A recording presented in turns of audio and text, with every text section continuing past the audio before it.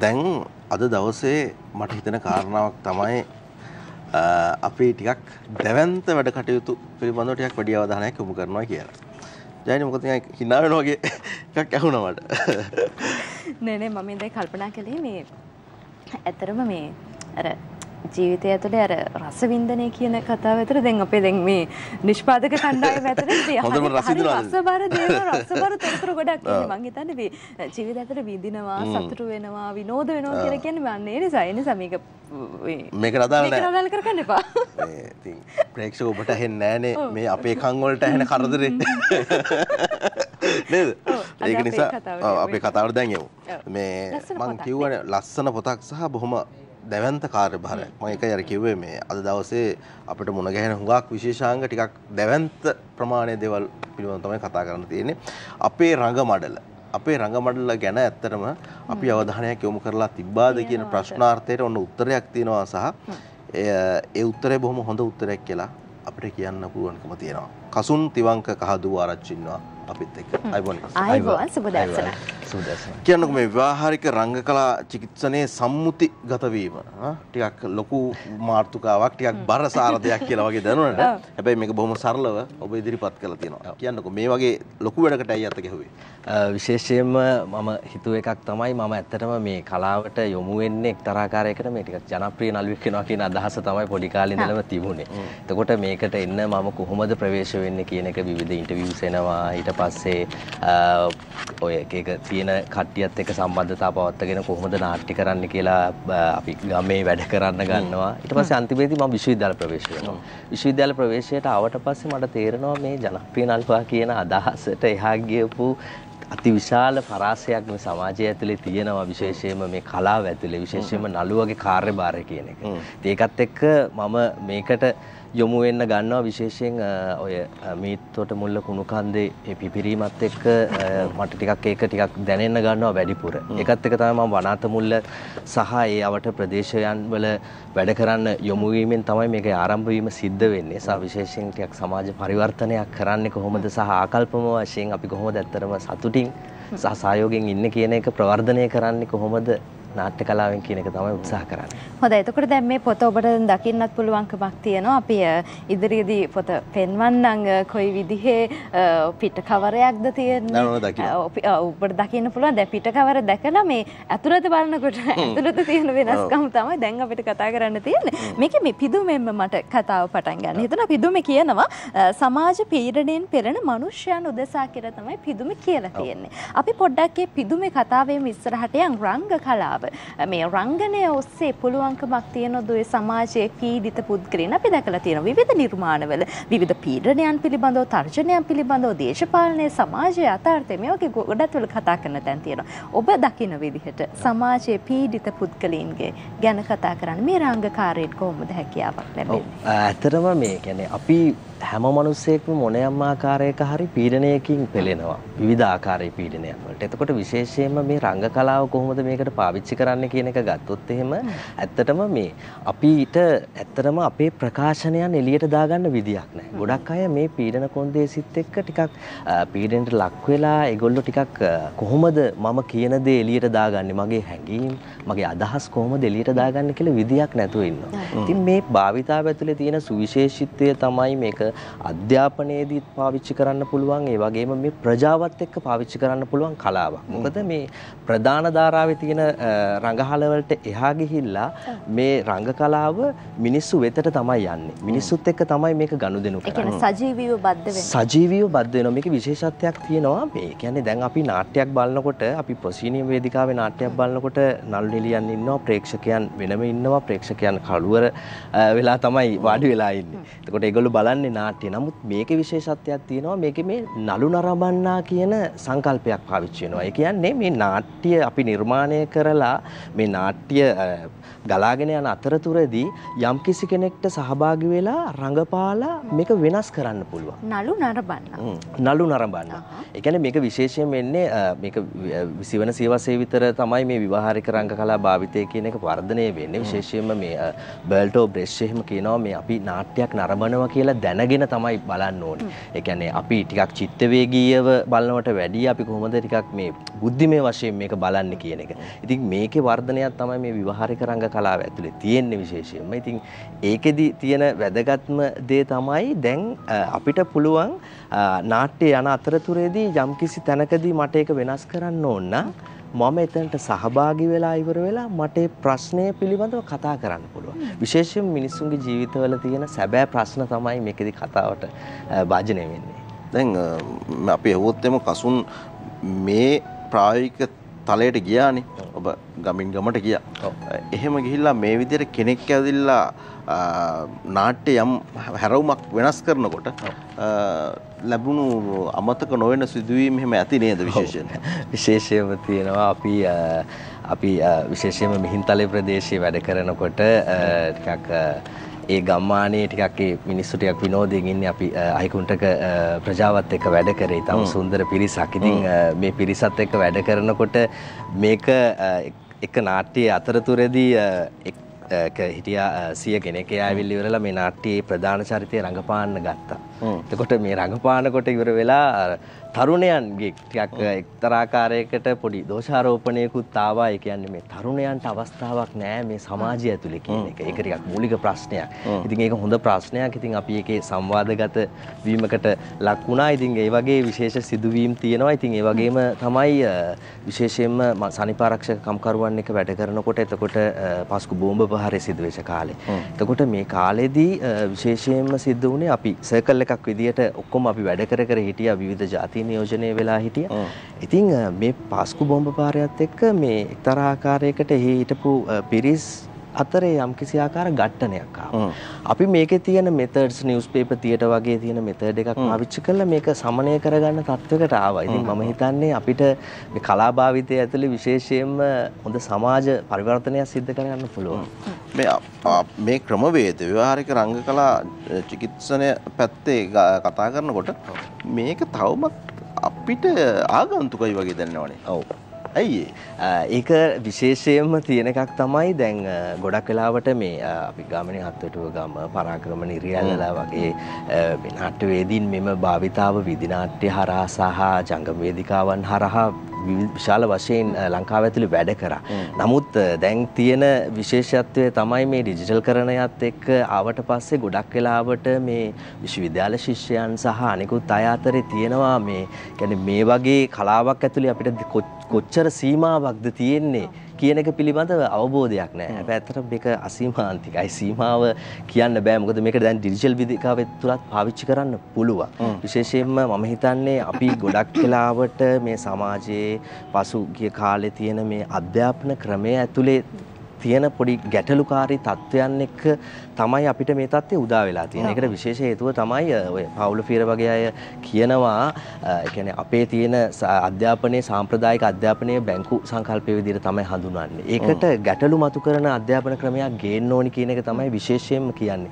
ඉතින් මෙන්න මේ අධ්‍යාපනික වෙනස්කම් එක්ක මම හිතන්නේ අපිට අවබෝධයක් දෙන්න පුළුවන් විශේෂයෙන්ම දැන් නාට්‍ය වගේ කියන එකක් කිව්වම ඉන්ඩස්ට්‍රි එක ලොකුවට නෑ. මුදල් හම්බ කරන්නේ කොහොමද? අපි ජීවත් වෙන්නේ කොහොමද? කියන අර්බුදය ඇත්තටම මේ ලංකාව ඇතුලේ විශේෂයෙන් තියෙනවා ගොඩක් වෙලාවට මේවට මුදල් යොදවන්න කවුරුවත් නැහැ මේ වගේ වැඩවලට ගොඩක් වෙලාවට සහයෝගය දෙන්න කවුරුවත් නැහැ. ඒ ප්‍රශ්නේත් මේකට බලපාන එක්තරා ආකාරයකට.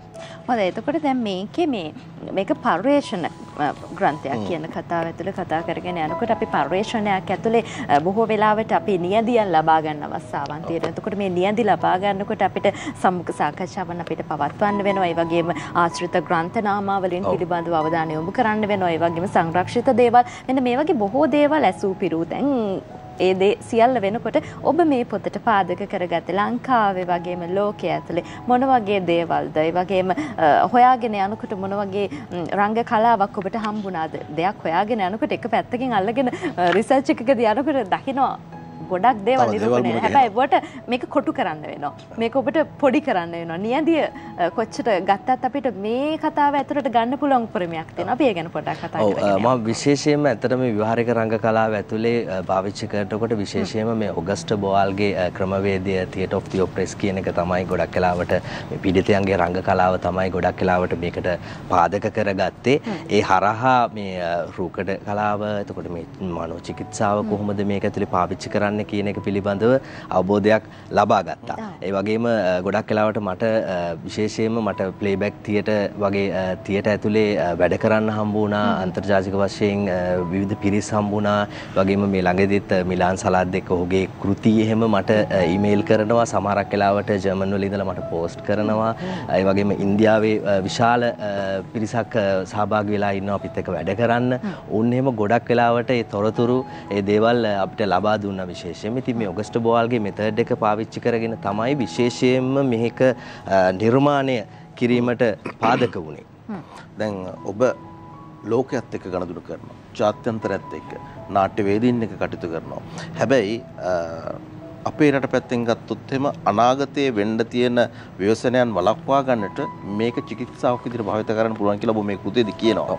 කොහොමද ඒක ප්‍රායෝගිකව භාවිතා කරන්න රංග ක්‍රමයක් විදියට. ඔව් පැහැදිලිවම මම මේ භාවිතාවන් පිළිබඳව විවිධ ප්‍රජාවන් එක වැඩ කරපු දේවල් ටික මේ කෘතිය සඳහන් කළා මම අවසානයේදී ගේනවා ඩොල්ෆින් තියට කන්සෙප්ට් කියලා සංකල්පයක්. ඒ කියන්නේ ඩොල්ෆින් තියට සංකල්පය. එතකොට මේ සංකල්පය හරහා කොටස් තුනක් තියෙනවා. මේක එකක් තමයි tour of applied තියට කියන එක. එතකොට මේ විවහාරික සංචාරය. අපි ගමින් ගමට යනවා. ගමින් ගමට විතරක් නෙමෙයි අපිට ලෝකේ ඕනෑම රටකට අපිට සංචාරය කරන්න පුළුවන් මේ ක්‍රමවේදය හරහා. එතකොට අපි ඔවුන් එක්ක ගිහිල්ලා ඔවුන්ගේ ප්‍රජා ගැටලු පිළිබඳව අපිට කතා බහ කරන්න පුළුවන්. එතකොට එහිදී ඇතිවෙන නිර්මාණාත්මක කාර්යයන් අපිට මුළු ලෝකෙටම පෙන්වන්න පුළුවන්. සහ එහිදී මතුවෙන ප්‍රශ්න පිළිබඳව අපිට සංවාදගත වීම සිද්ධ වෙන්න පුළුවන් එක්තරා ආකාරයකට. ඊළඟට අපි එකක් තව එකක් එනවා ආර්ට් විලේජ් කියන එක. එතකොට මේ ආර්ට් විලේජ් එක ඇතුලේ අපි පර්චස් 40ක ප්‍රමාණයක කලා ගමානයක් නිර්මාණය කිරීමට දැනටමත් වැඩ කටයුතු ආරම්භ කළ තියෙනවා මූලික අධියර.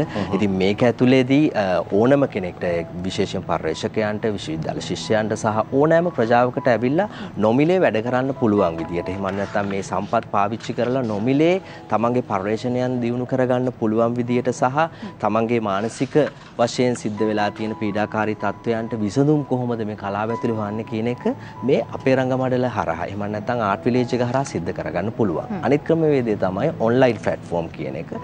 එතකොට මේ ඔන්ලයින් ක්‍රමවේදය මාර්ගගත ක්‍රමවේදය. ඔව් මාර්ගගත ක්‍රමවේදය ඔස්සේ අපි උත්සාහ කරනවා මේ ඉන්න සියලුම දෙනා සහභාගී කරවන්න. එහිදී අපිට විශේෂයෙන්ම දැන් අපි ජාත්‍යන්තර වශයෙන් ඉන්න සම්පත්දායකින් සහභාගී කරගෙන අපිට මොකද්ද ලංකාව ඇතුලේ පෝෂණය කරන්න පුළුවන් අධ්‍යාපනය ඇතුලෙන් සහ අපේ මේ පීඩන කොන්දේසිය ඇතුලෙන් සහ මේ සංවර්ධනය වෙනුවෙන් මොන වගේ දේවල්ද කරන්න පුළුවන් කියන එක පිළිබඳව අපි උත්සාහ කරනවා. ඉතින් ඊට අමතරව තව චුටි කාරණයක්. එතකොට අපි මේ ඇප්ලයිඩ් තියට uh, uh, විශේෂයෙන්ම මේ අපේ රංග මණ්ඩල හරහා එහෙම නැත්නම් ආර්ට් විලේජ් එක හරහා අපි 2027 දී international dolphin theatre concept festival එකකුත් uh, සංවිධානය කරන්න බලාපොරොත්තු වෙමින් ඉන්නවා. හොඳයි එතකොට මෙහෙම මේ බලාපොරොත්තු ගොඩක් තියෙනකොට පොත ඇතුලේ තව තිබ්බ දෙයක් ගැන මට අහන්න හිතුණා මේ අපි දැන් කෝලම් සොකරේ නාඩගම් වගේ දැන් ජන නාටක පිළිබඳව කතා කරනකොට සමාජයට අපිට බොහෝ දේවල් එකතු කරලා දෙන්න වගේම මේ නොදැනුවත්වම බොහෝ දේවල් ජනනය කරන්න මිනිස්සුන්ට කියන්න පුළුවන්කම ලැබෙන මාධ්‍යයක්. දැන් මේකේ රූකඩ ගැන කතා කරලා තියෙනවා. දැන් අපි හුඟක් තියෙනවා මේ රූකඩයක් වෙන්න හදන්න එපා කියලා අපි තමයි කියවනටත් කියන දෙයක් තියෙනවා. ඒ වගේ මේ එක චරිතයක් පෙන්නුම් කරලා සමාජයට යථාර්ථය අවබෝධ කරලා දෙන්න. ඒ තුලින් මේ රංගකාර්ය වගේම සමාජමය යථාර්ථමය කාරණාවන් ගණනාවක් එකතු කරලා දෙන්න. කොහොමද මේ මාධ්‍යයන්ට පුළුවන්කම තියෙන? අපි පොඩ්ඩක් ඒ ගැනත් කතා කරමුකෝ. කෙනෙක් නැහැ, හරි රූපයක් නැහැ. රූපයක් තිබුණට ඒ කෙනාට මේ කිසිම පණක් නැහැ. හැබැයි ඒ තුලින් සමාජ යථාර්ථයක් එකතු කරලා තියෙනවා. විශේෂයෙන් මෙහෙමයි දැන් ගොඩක් වෙලාවට ශිෂ්‍යයන් ගත්තාත් ඒ වගේම සහ තරුණයන් වැඩිහිටියන් ගත්තත් ගොඩක් වෙලාවට ටිකක් නිහඬතාවයේ තුළ ඉන්න අය ඉන්න බොහෝ වෙලාවට ඔහුන්ට උන්ගේ ප්‍රකාශනය ඉදිරිපත් කරගන්න බෑ. එතකොට මේ රූකඩ භාවිතය කියන එක විශේෂයෙන් අපි මේ රූකඩ භාවිතය තමයි වැඩිපුරම පාවිච්චි කරේ. එතකොට මේ රූකඩේ භාවිතය ඇතුලේ මගේ ප්‍රකාශනය ඉදිරිපත් කරගන්න පුළුවන්කම තියෙනවා මේ රූකඩේ හරහා. එතකොට මට කියන්න බැරි දේවල් මේ රූකඩේ හරහා ප්‍රකාශ කරගන්න පුළුවන්. මොනවා හරි ප්‍රශ්නයක් තියෙනවා නම් මේ රූකඩේ මාර්ගයෙන්. එතකොට මේ චරිතයක්. එතකොට මේ චරිතෙට වෙන පසුබිමක් තියෙනවා. මේ චරිතය හරහා නොකිය වගේ කියනවා වගේ දෙයක් ඇත්තටම කියන්න පුළුවන්. එතකොට අපිට ඇත්තටම මූලික වශයෙන්ම අපේ මේ මානසික වශයෙන් තියෙන පීඩාකාරී තත්ත්වයන් එක්තරාකාරයකට අපොසු වෙලා යනවා යම් ප්‍රමාණයකට. ඉතින් ඒක වර්ධනය කරන්න පුළුවන්. ඊට පස්සේ අපිට මොනවා ප්‍රශ්නයක් හරි ඒකදී අපි මතුවෙනවනේ මොකක් හරි එයා ඉදිරිපත් කරන එක ඇතුලේ තියෙන සන්දර්භය අරගෙන අපිට ඒක කතා කරන්න පුළුවන් සංවාදයක් විදියට. ඉතින් ඒක ඇතුලේ අපිට ගොඩාක් දේවල් විසඳ ගන්න පුළුවන්. පුළුල් මාසුකා ටිකක් තියෙන්නේ. දැන් මේ අපේ රංග මඩල විශේෂයෙන්ම වටින්නේ කාටද කියන කාරණාව කතුවරයා විදිහට ඔබෙන් ඇහුවොත් එම මොන මොන වගේ පිරිස් වලටද මේක පරිශීලනය කළ යුතුමයි කියලා ඔබ විශ්වාස කරනවා? විශේෂයෙන්ම විශ්වවිද්‍යාල ශිෂ්‍යයන් ඒ වගේම ගුරුවරු ඒ වගේම මේ සමාජ ක්‍රියාකාරිකයන් ඉතින් මේ මනෝවිද්‍යාවේ ඉන්න නියැලෙන්නන් සහ මේ ලංකාවේ නාට්‍ය විශේෂයෙන්ම කලාව භාවිතා කරන අය මේ අයට මේක ඇත්තටම පාවිච්චි කරන්න පුළුවන් සහ මම විශ්වාස කරනවා මේ වැඩ කරපු දේවල් ඇතුලේ හොඳ දැනුම් පද්ධතියක් සහ අපේ තියෙන අත්දැකීමක් ගැබ්බෙලා තියෙනවා විශේෂයෙන්ම ඕන කෙනෙක්ට ටිකක් අභිප්‍රේරණයක් ලබන්න පුළුවන්. ප්‍රායෝගික කාරණා ගොඩක් තියෙනවා. ඔව්. දැන් මේ මේ කෘතියට අවසාන විනාඩි කිහිපේ ඉන්න නිසා මේ මේ කෘතියට දැන් ලැබෙමින් පවතින ප්‍රතිචාර කොයි වගේද? ඔව් ඔය කෘතිය මම මුලින්ම එළියට දාන්න කලින් මම විශේෂයෙන්ම නියති කිහිපයක් තෝරගෙන මේ කෘතිය යවුවා. කියන විශ්වවිද්‍යාල ශිෂ්‍යයන් ගුරුවරු සහ නාට්‍යක ශේෂ්ත්‍රවල ඉන්න අය සහ ඊට අමතරව වෙනත් විෂයන් ශේෂ්ත්‍රවල ඉන්න අය. ඉතින් ඒ අය බොහෝ වෙලාවට කිව්වේ මේ රංග කලාව පිළිබඳව සහ මේ විවාහරික රංග කලාව කොයිතරම් දුරට අපිට පාවිච්චි කරන්න පුළුවන්ද කියන එක පිළිබඳ අවබෝධයක් ලැබුණා වගේම මට ගණිත ගුරුතුමියක් කිව්වා අපේ ගණිතය කියන විෂය කොයිතරම් නිර්මාණශීලීව භාවිතා කරන්න පුළුවන්ද කියන එක පිළිබඳව සර් ලොකු අවබෝධයක් ආවා මේක ඇතුලේ කියන එක.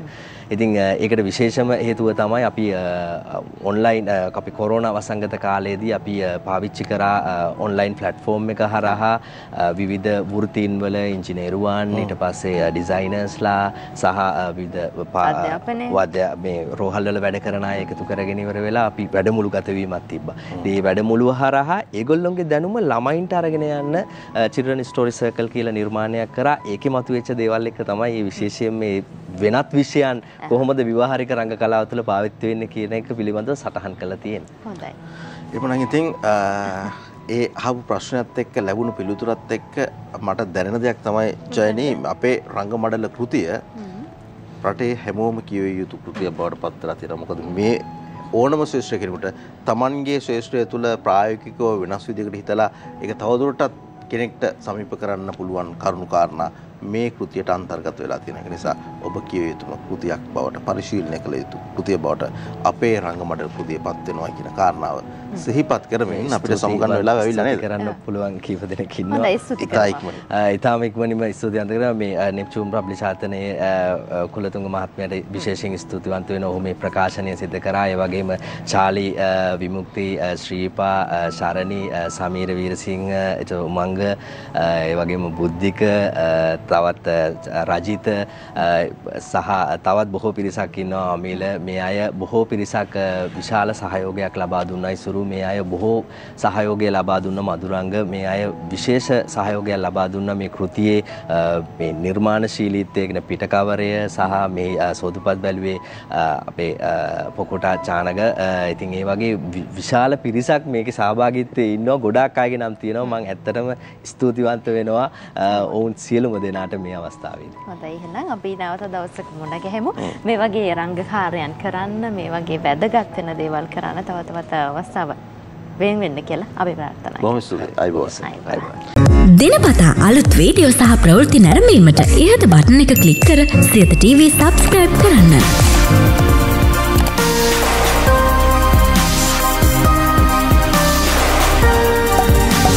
වීඩියෝ ගැන මුලින්ම දැනගන්න මෙම සීනුව ක්ලික් කරන්න.